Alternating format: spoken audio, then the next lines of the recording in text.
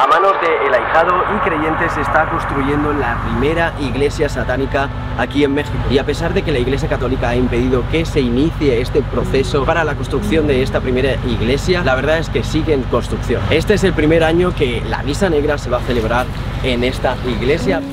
Yo decidí hacer este, no un templo, sino una iglesia, ¿verdad? En honor a Lucifer. Pues mucha gente no tiene a dónde ir. Quiere adorarlo a él, quiere tener fe en él, pero de una manera allá atrás, ¿no? Porque no puede exteriorizar su fe. Y aquí ellos tendrán la oportunidad de realmente venir y tener comunión con él, ¿no? Va a haber una figura bastante grande que está programada para 4 metros de altura. La iglesia en sí va a tener en 6 metros, que la gente cada vez está más creyendo en Lucifer. Desde los cimientos empezó en agosto de, del 2022. Como es bastante gasto y esto está dándose por medio de los, pues, de los donativos de las personas. Esta iglesia está programada para finalizar su construcción a finales del 2023. Sería la primera iglesia a nivel país. Exteriormente están colectando firmas, incluso ya colectaron 26 mil firmas para que no se construyera porque dice que va a ser un semillero del mal, algo que va a traer desgracias al pueblo, desgracias hasta el país. ¿Cuántos atropellos no han cometido los sacerdotes, los líderes religiosos, infinidad de personas que están metidas en la religión que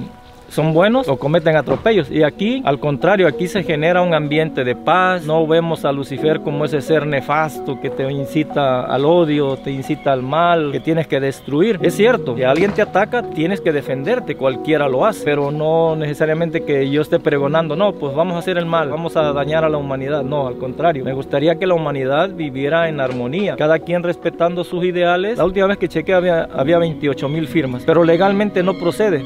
En nuestro país tenemos un artículo que es el artículo 24, que este nos dice que tú tienes libertad de culto, no puedes ser perseguido por la ley por creer en, en algo. Y ni estoy diciéndole a todo el mundo, hey, vengan para acá, vengan para acá. No, el que quiera venir será bien recibido. Y el que no quiera venir, pues también se respeta su decisión, no pasa nada. La misa negra es un evento que se da una vez al año. Y como en cualquier este lugar, hay manifestaciones. Hay gente que dice que ve sombras, hay gente que, que dice que lo tocan por la espalda o X situación, ¿no? Cada año, a lo largo de 10 años que llevo haciendo la misa negra y esta vez será la onceava edición. Yo considero que él tiene que manifestarse más en las personas, pues por medio de, de, sensaciones en su cuerpo, de energías que van a andar de alguna manera flotando en el ambiente, él se tiene que manifestar de alguna forma el día de mañana.